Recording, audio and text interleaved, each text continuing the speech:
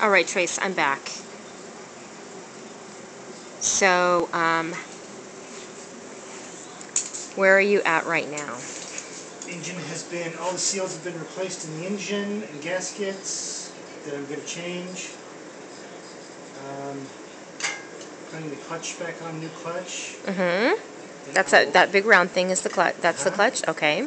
All right. Then. I will get back up to the transmission Mm-hmm. and then we're ready to slide it back into the car and put it back in.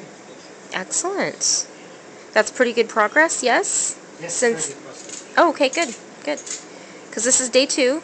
We're late afternoon, and you've been working on it all day. And actually, last night you started kind of afternoon. So it's been about 24 hours. Yeah. Yeah. Okay.